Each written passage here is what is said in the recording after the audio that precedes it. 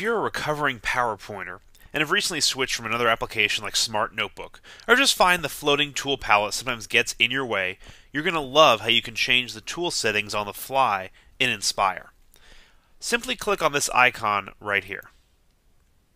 And what I can do on the top of my toolbar is I can decide to dock it to the left. So now my tool palette's over here on the left, or I can go ahead and dock it on the right. Real simple. Or, if you want it to look like some other applications you might have, I can go ahead and dock it on the top. Then if I see right up here, my toolbar is part of my top menu. This icon is right here now for the options. I could also dock it on the bottom for easy access to get down to it, maybe for students.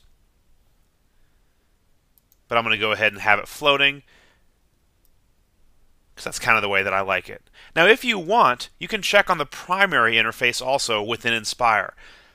To do that, all I have to do is go to my dashboard. So I'm going to go to my main menu, go to View, and then Dashboard.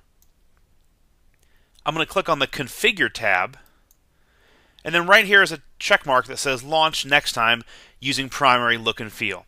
So ActivPrimary is not gone, it's actually part of Inspire. I'm going to go ahead and close this. We're going to close Inspire. And now ne next time that I open it up, it's going to open up with a primary look and feel. You might find that your younger students will prefer this interface as the tools are sometimes easier to grab and easier to view. And I can see right here, I'm going to open up that same flip chart. I now have my primary look and feel that many of you guys are used to seeing. Enjoy.